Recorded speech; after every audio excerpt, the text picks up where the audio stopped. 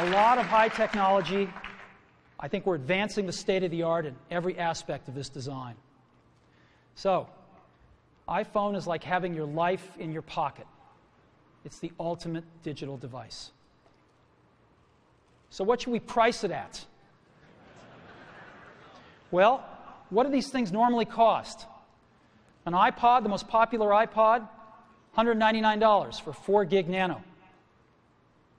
What's a smartphone cost? Well, they, they say you get the phone and some of the internet with it, although that's questionable.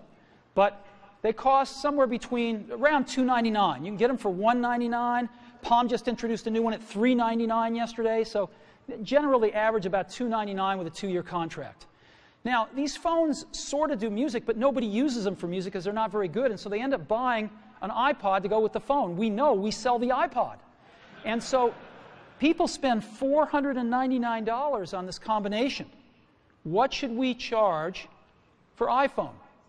Because iPhone's got a lot more than this stuff, right? It's got video, real video. It's got this beautiful, gorgeous wide screen.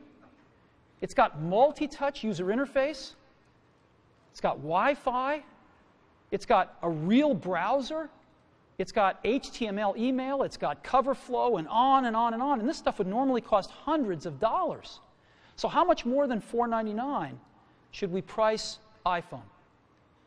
Well, we thought long and hard about it because iPhone just does so much stuff. So much better experience on a call and managing your contacts and visual voicemail, random access voicemail for the first time, and texting and email and real browser and Google Maps and tremendous iPod and cover flow and video. And what should we price this thing at? Well, for 4 gigabyte model, we're going to price it at that same 499. No premium whatsoever. $499. And we're going to have an 8 gigabyte model for just $599.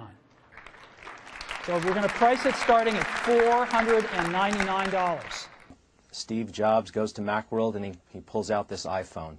What was your first reaction when you saw that?